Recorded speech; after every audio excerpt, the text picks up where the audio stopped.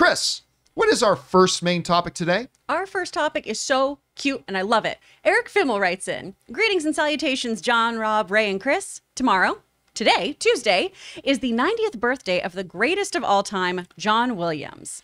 It's crazy because even if you take away his iconic work on Star Wars, without it, he'd still be the greatest of all time by miles.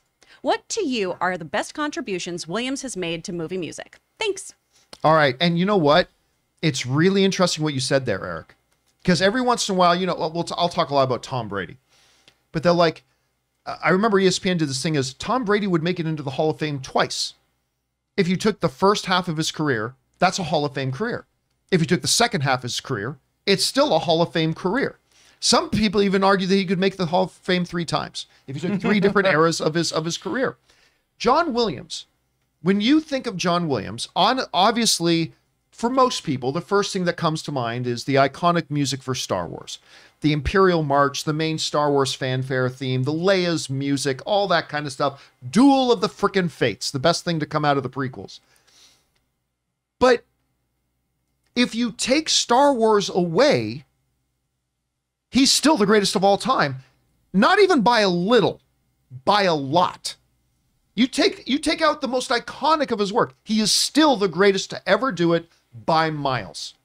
And that is a crazy crazy accomplishment because when you think of every we, we talked about this a lot. John williams with this i lost count i can't remember. How many academy award nominations does he have? It's in the 20s or 30s i think maybe 19 i can't remember how many. He's got five academy awards all that kind of stuff. And when you think of mu- movie music that you hum or whistle or think about nine times out of ten is a john williams score. Well, how about just one director? Let's take Star Wars out of it. If you just had one director and take the movies that he scored for Steven Spielberg, it's a it's a hall of fame career already He has Jaws, 52 Oscar Raiders, nominations. Schindler's List, Jurassic Park. we say how many 52 noms. 52 sorry i'm not i was thinking of meryl streep nominations i think yeah 50 Sorry, Rob, I didn't mean to interrupt. No, not at all. But I mean, just Spielberg alone. If he only scored Steven Spielberg movies, he would be in the Hall of mm-hmm. Fame. Yeah. But you think about, you know, I just watched uh, recently with Anne that that anniversary Return to Hogwarts thing. Yeah. John Williams, Jurassic World's coming out. Na, na, na, na, na. Indiana Jones, dun dun dun dun dun. Superman, bum bum bum bum bum. arguably It's one of the him. great movie scores. That that score rivals his score for Star Wars. The Superman the movie. It's it's great. Beautiful. Actually, you know, we go to the John Williams concert every year at the Hollywood Bowl. Every year he'll play three or four pieces from Star Wars, and everybody goes nuts. But only about every two or three years does he do the Superman theme. Only like every two. I, but what if not the Imperial March?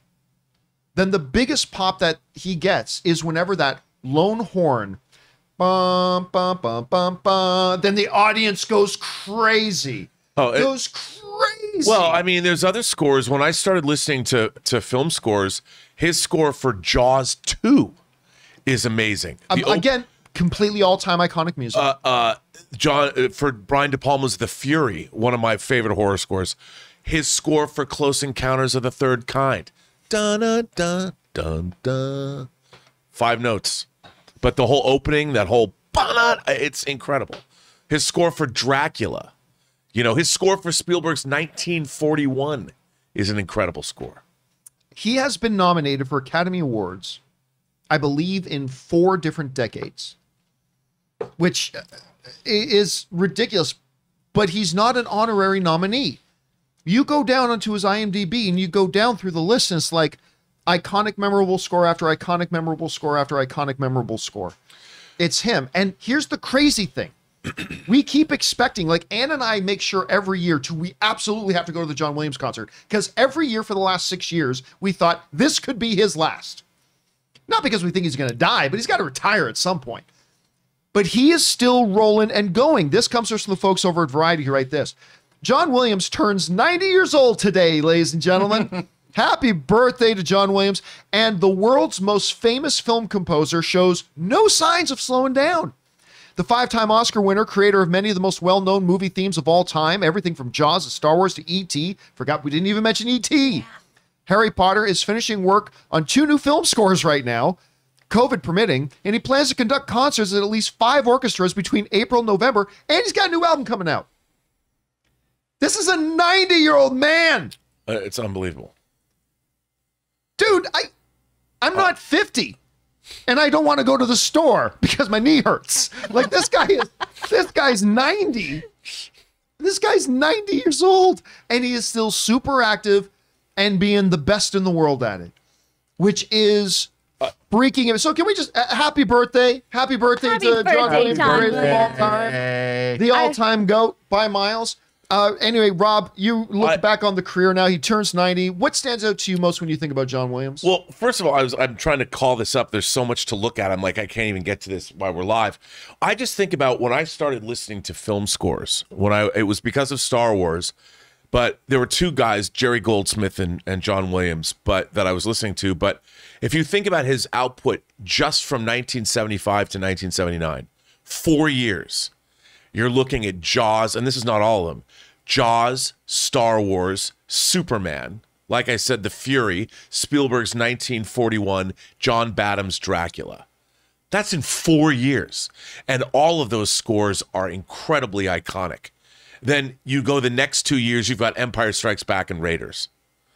I mean, if you look at it, and by the way, the law, the original TV theme dun, dun, dun, dun, dun, dun, for Lost in Space, right. Johnny Williams, back but when he was Johnny Williams, he did that too. When he was just a young scamp right? I mean, i- music. i- if you look at yeah, and the stuff he did, go back to the '60s. I mean, the guy's the guy's career is unbelievable. Kris, you're looking at this. You see that he's 90 years old right now. What do you think about when you think about John Williams, and what of his score stands out to you, and what does it mean to you? Oh my gosh, I love his music so much. Jurassic Park is honestly the first thing I think about because that was such an important film to me 'Cause as you're a young. kid. Because I'm young, You're not old like me. just just old in mind and spirit, Rob. That's all I got going on. Just cynical Old otherwise. soul. Uh, that's a nicer way to put it. But Jurassic Park is probably the one. All the Harry Potter movies were obviously really, really big for me too. And then in recent memory, the Tintin score. Tintin, a Oh, very the Tintin underrated score was great. underrated movie, underrated music. It's a great, great film, and it just makes it so fun listening to his music. You want to go on that adventure with Tintin. You want to go chase after Snowy. He's amazing. He's incredible. Happy birthday, sir.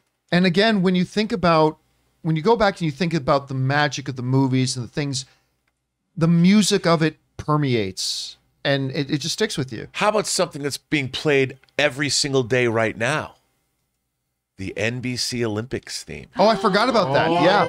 He actually, yeah, at his last concert, he broke that out, and they played this big montage of great Olympic moments over the years, and they Yeah. played his Olympic theme and all. Even when one of the great moments, actually, at one of Williams's concerts, this was a couple of years ago, he brought Kobe Bryant out on stage. This was about a year before he died, and he had done that Dear Basketball, the short film that won him an Academy Award Yeah. and John Williams composed the music to it. And John Williams brought out Kobe Bryant. I was at that. I was at that show. I was at that. Were you at that, John Yeah. Williams? Yes, I was. So he comes out and they play the short film while Kobe narrates it personally, and Williams conducts the orchestra. And it was one of the cool. Beautiful. my favorite, coolest moment ever, besides Julie Andrews coming out and all that, they they've always had big guests. But my favorite move, moment ever at a John Williams concert was when they the surprise guest was Steven Spielberg. Mm. and I freaked out and thought I was going to piss myself. and Steven Spielberg comes out and he talks about how you guys want to know like just how great John Williams is. He goes, "I brought with me the opening 7 minutes or whatever it is of Indiana Jones and the Last Crusade. When young Indiana Jones gets the hat and the whip and you know it's it's young River Phoenix. We're going to play that entire 7 minutes now without John Williams score. Let's go." and they play the entire opening seven minutes and it just doesn't even feel like it has any life to it mm-hmm. Even as he's you know jumping in between the train cars and all that kind of stuff it just feels weird. And then he goes okay now let's do it again after that full seven minutes.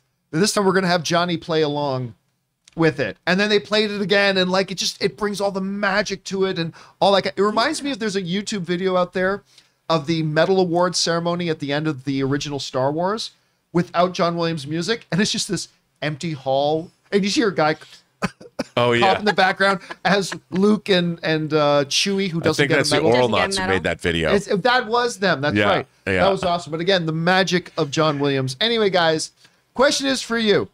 What do you think about when you think of the GOAT, John Williams? Happy birthday, turning 90, still going strong. What's your favorite music score of his? Whatever you guys are thinking, jump down into the comment section below and let us know your thoughts.